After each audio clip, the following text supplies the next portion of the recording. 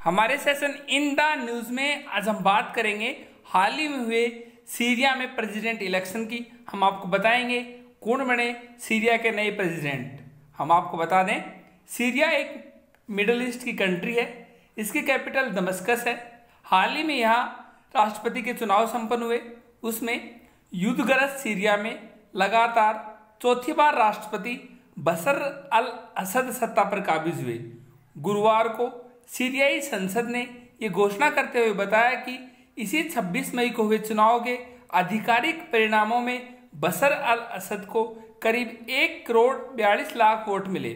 उसके बाद बसर अल असद फिर से अगले सात सालों के लिए राष्ट्रपति बने रहेंगे। हालाँकि चुनाव में असद की जीत को लेकर कोई संदेह नहीं था, क्योंकि करीब 1.8 करोड़ लोग वोट देने के योग्य थे।